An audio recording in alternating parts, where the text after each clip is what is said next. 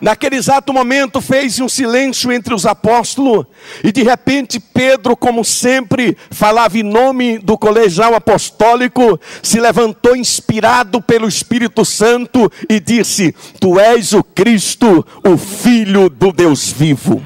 Naquele exato momento, quando Pedro fez esta confissão, Jesus disse: Eu te digo que tu és Pedro, e sobre esta pedra edificarei a minha igreja e as portas do inferno não prevalecerão contra ela. Aleluia! Ora, queridos e amados irmãos, naquele exato momento, quando Jesus disse: Tu és Pedro, e sobre esta pedra edificarei a minha igreja. Quanta parte da cristandade através da história tem interpretado de forma errada esse texto. Alguns, uma parte da cristandade afirma, queridos irmãos, que a igreja foi edificada sobre Pedro, só porque a palavra Pedro no grego é Petra, que significa uma pequena pedra ou um fragmento de pedra. Esta parte da cristandade diz que Pedro é o alicerce da igreja, foi o primeiro papa da igreja,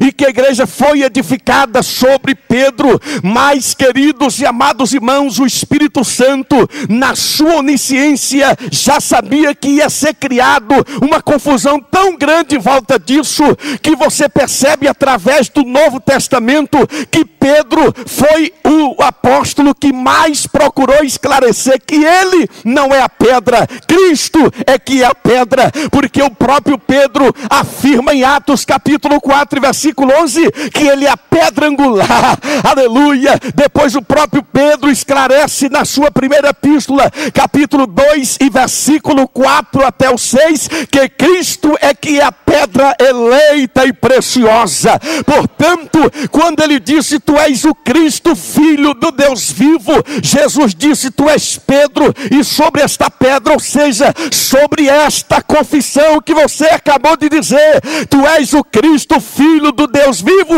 é sobre esta confissão que eu edificarei a minha igreja, e as portas do inferno não prevalecerão contra ela. A igreja está solidificada nesta verdade que Cristo é o fundamento da igreja. A igreja não está edificada sobre o fragmento de uma pedra, mas sobre uma pedra maciça, sobre uma rocha maciça. Aliás, o próprio Deus sempre foi chamado de pedra em rocha na Bíblia. Quando os escritores sagrados procuraram um termo para expressar o caráter firme do Deus a quem servia, se referiam a Deus como a pedra, como a rocha. O primeiro deles foi Jacó, no capítulo 49 e no versículo 24, quando ele estava abençoando o seu filho José, ele disse: O seu arco permanecerá firme e e sustentado pelo poderoso de Jacó, sim, pelo pastor e pela pedra de Israel. Portanto, ele chamou Deus da pedra de Israel. Depois, em Deuteronômio, capítulo 32, versículo 4, Deus é chamado de a rocha perfeita. Nele não há injustiça, e sim sua verdade. Depois, em Deuteronômio 32, 18, ele é chamado da rocha que nos gerou. Davi se expressa em 2 Samuel, capítulo 22, e versículo 45 7, quando ele chama o Senhor da rocha da sua salvação.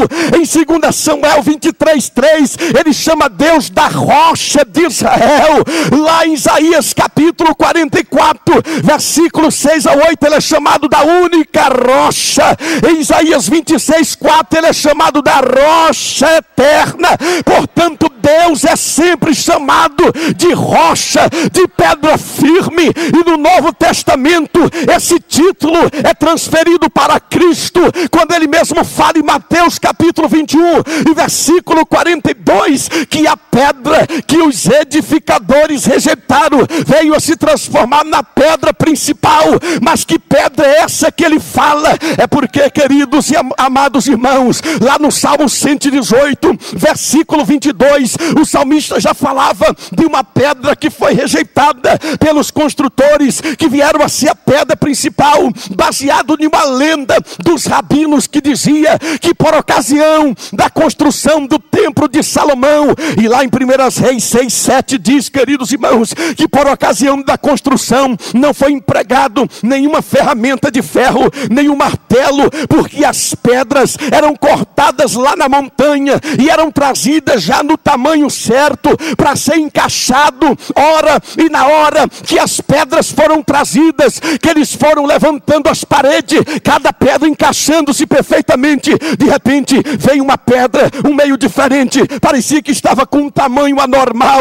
Aí o construtor olhou para aquela pedra e disse: Essa daqui não tem a mesma dimensão das demais, não. Deixa essa aqui de lado. Rejeitou aquela pedra, mas continuou trazendo outras pedras e foi construindo. Quando o edifício já estava levantado, de repente ficou uma brecha bem justamente na esquina, onde ligava as duas paredes principais do templo e procurou uma pedra para se encaixar ali, não encontrou. Aí se lembraram daquela pedra que havia sido rejeitada, que havia sido colocada de lado. Aí o construtor se lembrou: pega aquela pedra lá. Aí trouxe aquela pedra. Quando trouxe aquela pedra, descobriu que ela tinha o tamanho exato, a dimensão exata, e colocou bem naquela brecha. E aquela pedra acabou servindo para amarrar as duas paredes do templo, ou seja, a pedra que foi rejeitada veio a ser a pedra principal de esquina. Da mesma forma, Cristo foi rejeitado pelos homens, mas hoje ele é venerado, é glorificado, exaltado pela sua igreja.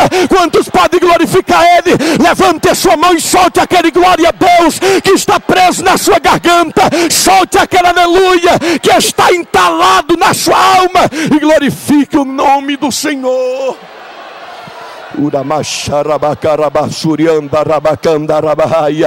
Aleluia, aleluia. O desprezo que os homens tiveram por Cristo, olha, nós nos identificamos com Ele, aleluia. Saiba de uma coisa: quem sabe você está aqui esta noite, mas você era rejeitado, desprezado, mas agora você veio a se transformar em uma pedra principal no edifício de Deus. Sabe por quê? Porque o apóstolo Pedro fala que agora nós somos pedras vivas. O edifício de Deus é construído com essas pedras vivas que estão aqui. Você, meu irmão, glorifica o nome do Senhor, porque o mundo te desprezou, os homens te desprezou, mas você é importante para Deus. Você faz parte do projeto de Deus. Você é o melhor que Deus tem aqui esta noite. Deus não tem ninguém melhor do que você. Você é o melhor de Deus.